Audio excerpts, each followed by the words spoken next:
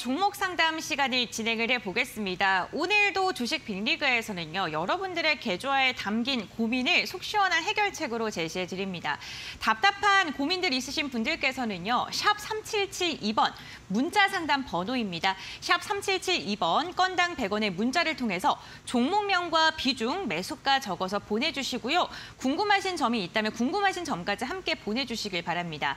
문자 상담 번호 다시 한번 말씀드릴게요. 샵 3772번 건당 100원의 문자이고요. 종목명과 비중, 매수가 이 세 가지를 꼭 적어서 보내주셔야지 원활한 상담이 가능하다는 점 기억해 주시길 바랍니다. 오늘 상담 신청이 다른 날보다는 조금 적습니다. 여러분들 이럴 때 상담 신청하셔서 꼭 종목에 대한 고민들 해답 얻어가셨으면 좋겠습니다. 어, 저희 오늘 뭐 다양한 분들께서 상담 신청해 주시고 계신데 첫 번째 문자 상담 한번 진행을 해보겠습니다. 어, 9772번님께서 보내주셨고요. 이시 후 세 글자 넣어서 셀트리온 제약 97,000원 20% 제가 사면 내려갑니다. 라고 보내주셨는데 또 고점이네요. 라고 문자를 보내주셨습니다. 아, 셀트리온 제약 오랜만에 또 반등이 나올 것 같은 어, 그러한 어, 이야기가 나오다가 다시금 좀 사그라들었습니다. 어, 셀트리온 그룹주들 갖고 계신 분들 다 답답한 마음 가지시고 계실 것 같은데 이분에 대해서 좀 고민을 해결을 드려야 될 것 같네요. 네, 전문가님. 네. 셀트리온 제약 다시금 갈 수 있을까요? 어, 제가 이제 개별적으로 네. 그 노란톡방에 이제 교육 때 항상 이제 여러 번 말씀을 드렸었습니다. 셀트리온, 셀트리온 제약, 셀트리온 오, 헬스케어. 네. 어, 해당 종목들 솔직히 어, 2020년도부터 거의 3년 가까이 계속적으로 이제 하락 추세가 이어져서 셀트리온 제약 같은 경우는 고점이 한 30만 원 근처까지도 상승이 나왔던 종목이거든요. 그래서 현재 같은 경우는 9만 원 근처까지 예, 그나마 최근에 올라서 9만 원 근처 였고 5만 원대까지 하락이 나왔던 종목입니다. 그런데 그 5만 원 근처에서 최근 고점 10만 원 근처까지 거의 두 배 가까이 이제 급등이 나왔었거든요. 그러다 보니까 지금 현재는 다소 기간 조정 중이다라고 볼 수가 있겠습니다. 장기적인 관점에서는 어, 추가적으로 제가 봤을 때는 8만 5천 원 근처까지만 좀 장기적 관점에서 8만 5천 원 근처까지만 이탈이 안 나온다라고 하면은 추세가 다시 한번 상승으로다가 진행될 가능성이 크고요. 다만 이제 셀트리온, 셀트리온 제약, 셀트리온 헬스케어 예, 주력 상품인 뭐 고덱스라든가 다른 이제 그 제약품이 그 원가는 워낙 많이 올라가고 그다음에 최근에 그 약품가도 15% 정도 예, 인하를 했거든요. 그러다 보니까 약 가격은 낮아졌는데 예, 원가는 올라가다 보니까 다소 네. 단기적인 악재는 있습니다. 하지만 예, 장기적인 관점에서는 지금도 가격적인 메리트는 충분하다. 네, 다만 셀트리온과 같이 움직임이 상승 추세가 비슷한 흐름을 보이기 때문에 예, 참고하셔서 보시면 조금 도움이 되실 겁니다. 네, 알겠습니다. 셀트리온 그룹주들 세 가지를 함께 보시는 게 좋겠다라고 이야기를 해주셨습니다. 어, 고점에서 꼭 탈출할 수 있기를 바라보도록 하겠습니다. 어, 다음 문자 상담 이어가 보겠습니다. 저희 샵 3772번 건당 100원의 문자를 통해서 상담 접수 지속적으로 받고 있습니다. 문자 보내주실 때요. 종목명만 보내주시는 분들도 계신데요. 어, 저희 종목명과 비중 매수가 함께 보내주시고요. 0117번님께서 보내주신 문자 한번 읽어보도록 할게요. 이화 전기이고 2,400원에 30%를 갖고 계신데요. 어느 정도 올라오면 손절하는 게 나을까요? 라고 문자를 보내주셨는데 네, 벌써 손절을 생각하고 계십니다. 전문가님, 가격 전략 좀 자세히 좀 부탁드립니다. 네, 이화전기 같은 경우는 최근에 예, 급등이 나왔었습니다. 어, 일단 제가 매수가는 그 확인을 지금 못했는데 매수가 한 번만 다시 아, 말씀해 주세요. 2,400원, 아, 네, 2,400원. 30%요? 어, 오늘 상한가를 보이면서 급등, 그다음에 전일도 상한가로 급등이 나왔었습니다. 예, 해당 종목 같은 경우는 삼자 배정으로 인해서 예, 그 자금을 갖다가 유입한다라는 호재에 의해서 어, 400원대 이제 동전주를 예, 지금 최근에 면하면서 1,500원까지 올라왔거든요. 다만 이제 정고점인 1,600원 근처가 이제 강한 저항대입니다. 그렇다면 내일 추가적인 상승이 나온다라고 하더라도 1,600원 근처에서는 조금 예, 밀리는 모습, 흐름이 나올 수가 있고요. 예, 이 현상이라는 솔직히 어, 상한가 그 전부터도 400원부터 1,500원까지 워낙 많이 급등이 나왔기 때문에 조정을 중간에 한번 받을 수 있는 위치다라고 보셔야 됩니다. 물론 매수가가 2,400원이기 때문에 어, 워낙 높잖아요. 주봉으로 보게 돼도 2,000원대가 어, 벌써 2021년도 2년 전에나 해당 가격이 왔고 물론 뭐 감자라던가 여러 가지 이슈가 있었지만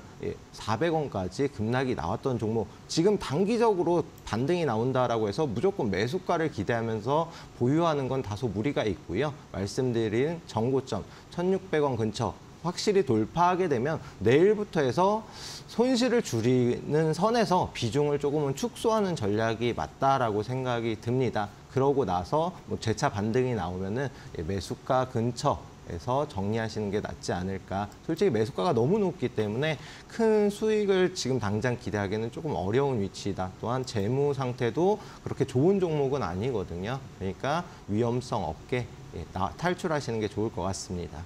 네, 알겠습니다. 인- 어, 지금 좀 많이 저점 대비 올라와 있는 상태다. 탈출을 잘 하시라고 가격 전략을 잡아주셨습니다. 참고해 보시면 좋을 것 같고요. 지금 저희가 상담을 도와드리곤 있는데 어, 방송 중이뿐만 아니라 장중에 갑자기 급등하는 종목들 대응하기가 어려우실 것 같습니다. 노란톡 오픈 채팅방에 입장을 해보시면 좋을 것 같은데요. 어, 지금 QR코드 보이시죠? QR코드 휴대전화 카메라 켜셔서 스캔하시면 노란톡 입장 가능하시고요.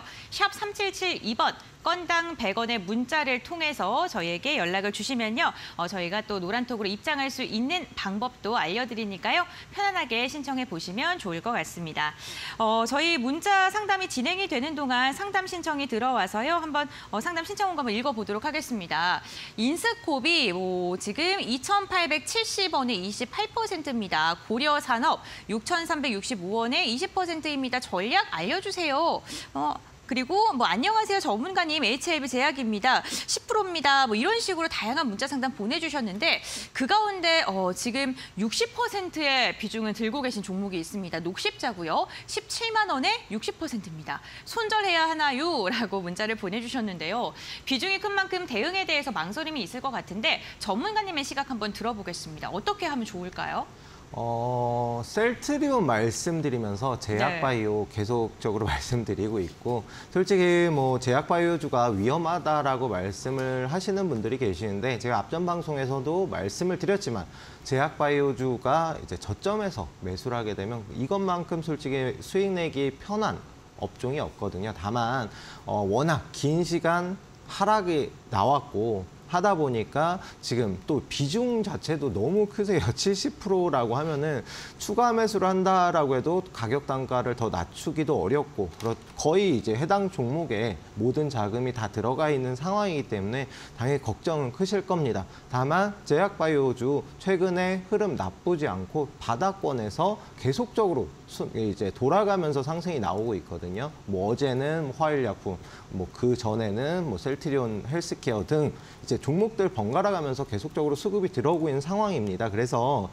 솔직히 좀 중장기적으로 보게 되면 굳이 손절하지 않고 보셔도 될 것 같습니다. 왜냐면은 최근에 어, 또 이제 실적 자체도 녹십자라든가 뭐 5대 제약사에 포함이 되는 종목들 같은 경우에는 수익도 뭐 1조 원대 매출을 보이는 등 수익성도 굉장히 좋게 나오고 있거든요. 실적 자체도. 그렇기 때문에 조금 중장기적인 관점에서 보셔야 되고요. 다만 14만 5천 원 돌파 시점부터 해서 시세가 조금 그 거래량 포함해서 나올 것으로 보고 있습니다. 해당 저항대만 돌파하면은 추가적으로 예, 시청자분께서 가지고 계신 매수대 아니 매수가 근처까지는 상승이 나오지 않을까 싶습니다. 너무 걱정 안 하셔도 될 것 같습니다. 네, 알겠습니다. 비중이 크셔서 걱정도 크셨을 텐데 녹십자 중장기적으로 들고 간다면 탈출 가능하다라고 가격 전략 제시해 주셨습니다. 참고해 보시면 좋을 것 같습니다. 네, 저희 문자 상담 이어서 가보겠습니다. 많은 분들께서 또 상담을 보내주셨는데요. 네이철셀 매매가 1180원 뭐 이렇게 있고요. 후성 20% 17,000원 있고요. 어, 여기 전문가님의 성함을 보내주신 분이 계십니다. 성함 보내주시면 당첨 확률 높아진다 말씀드렸죠. 이시우님 강원에너지 20%고요. 35,000원입니다. 부탁드립니다. 라고 보내주셨는데요. 강원에너지 오늘 3만 원대 구간에서 거래가 이루어지고 있는데 손실이 좀 크십니다. 어, 어떻게 대응하면 좋을까요?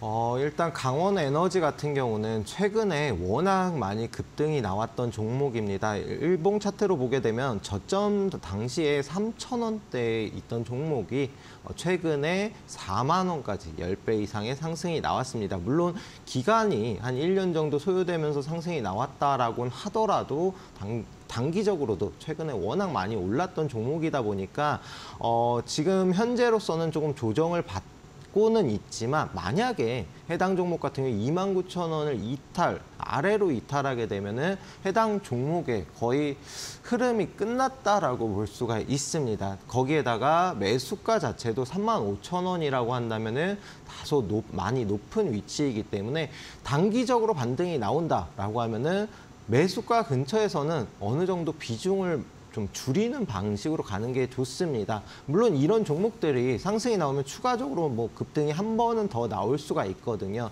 다만 매수가가 낮지 않기 때문에 매수가 근처부터 어느 정도 비중은 한 최소한 절반 정도까지는 줄이시는 전략으로 이제 지켜보시고요. 만약에 29,000원 이탈하게 되면은 말씀드린 대로 해당 종목의 상승 시세가 아예 끝, 끝이 났다. 만약에 기다리면 몇 년까지도 걸릴 수가 있는 종목이기 때문에 손절가 잡고 보셔야 됩니다.